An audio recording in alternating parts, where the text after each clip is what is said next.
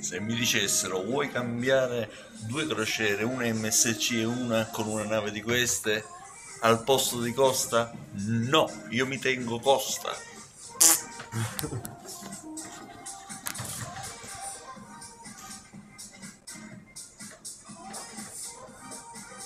Però non insistete.